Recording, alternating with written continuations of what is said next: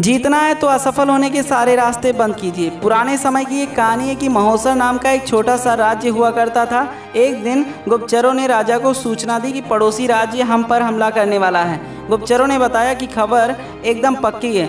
सिर्फ़ तीन दिनों के भीतर पड़ोसी राज्य अपनी विशाल सेना के साथ हम पर हमला कर देगा और उनकी बड़ी सेना के आगे हमारा टिक पाना कठिन है। राजा बेहद चिंतित हो गया।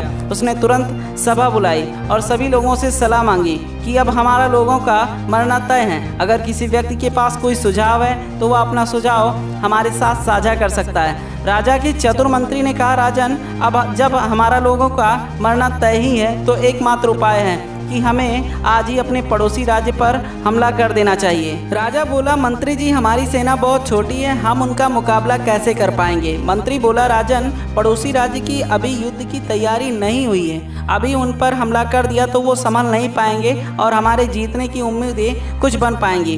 ऐसे भी अगर हमने हमला नहीं किया तो हमारा विनाश तय है, क्योंकि कुछ दिनों में पड़ोसी राज्य हम पर कूच करने वाला है। राजा को यह बात जच गई, उसने तुरंत अपनी सेना को तैयार होने का आदेश दिया और राज्य के नागरिक भी सेना के साथ जुड़कर युद्ध करने के लिए चल दिए।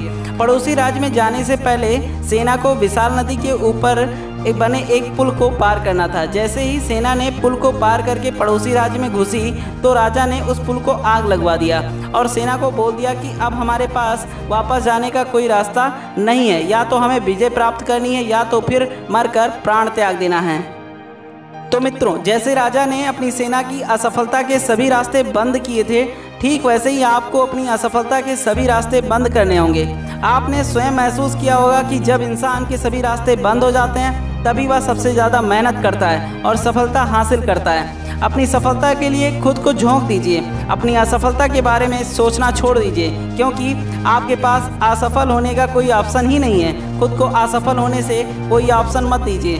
डरो नहीं, कोई भी समस्या आपकी क्षमता से बड़ी नहीं है। जुट जाइए, सफलता आपकी राह देख रही है।